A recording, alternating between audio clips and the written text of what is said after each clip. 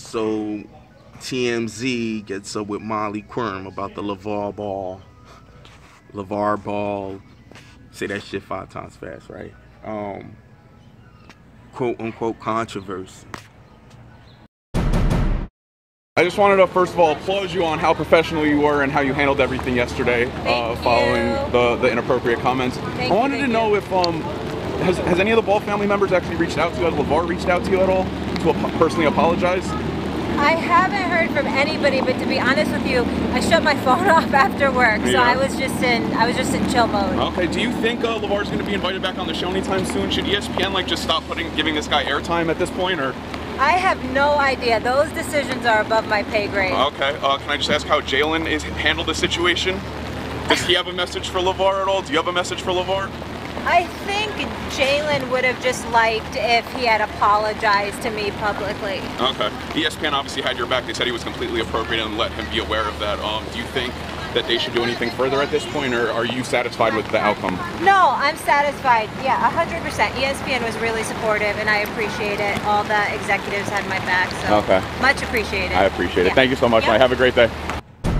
And I'll be honest with you, I listened to it. She she she didn't make it extra, but that last part about public apology, I would have just like it would have been more even though it was more TMZ pushing it about like should they do some more stuff, this, that, and the third, because they were probing her.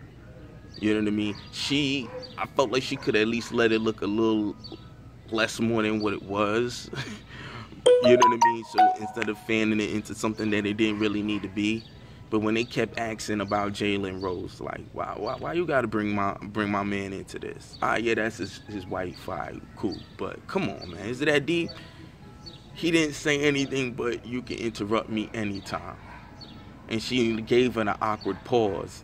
Her response was more more than enough that she wasn't feeling that, but okay. Is that something that LaVar Ball is known for doing? I don't know. But if he now now the argument is well why is he like that only with a woman? Well, I mean, you gotta also understand one thing. He's not gonna treat her the way he would treat a man. Like that's just come on, that's not that's just ridiculous. Like that doesn't even make sense off general principle. You know what I'm saying? Especially as a as a straight male. His whole approach is gonna be different. You know what I mean? You might say, well, that's the point. Eh, you could say that. But you'd be wrong. Because if a guy treated a woman like he would treat any other guy, a lot of guy, uh, there'd be a lot more fights going on. When I say fights, like physical fights, you know what I'm saying? Like guys don't deal with females the same kind of way on both ends. You know what I mean? Like guys aren't, even though yeah we do have situations of domestic abuse, we're not gonna disregard that, but it's not as rampant as like real physical abuse, like I ain't like domestic abuse, physical abuse, like people getting beat on, like women just getting beat on just for getting beat on, like that's not something that's as ran just it's just her like not a, if you're talking about a relationship where two people are fighting that's something else. But if we're talking about like that just happening every like every day does it happen? Yeah. But are you gonna say like 50 percent 50 plus percent like the more the most women that uh, physically happen to? No it's not. Men deal with females differently. That's just how it's always been. Ain't, ain't, ain't, ain't nothing new here. Ain't nothing new here. So if he's known for busting dudes chops like how guys will bust chops on a more aggressive manner he's not gonna bust her chops that way. I would then he'd be a straight up bully and he's not coming at it like that so he might bust her chops by being flirtatious because she's a female. You know, like that's the way he's gonna do it. And on some level, he probably thinks she would just take it more in a complimentary mode and keep it moving and just like jump off of it. Like, but clearly she wasn't with the shits. And I respect that. You know, no one's saying she's wrong for not being with it. But from what I understand, and I don't watch the show, and maybe I'm wrong, but if he busts the guy's chops all the time, he he's gonna do the equivalent towards a female, but he's not gonna like bust her chops the way he do a guy, he, that would be damn near bullying, if it, if not outright bullying. You know what I'm saying?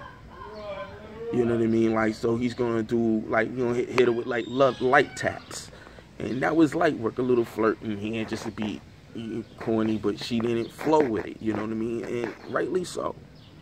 You know, but it wasn't some. But even by verbiage, it wasn't that deep.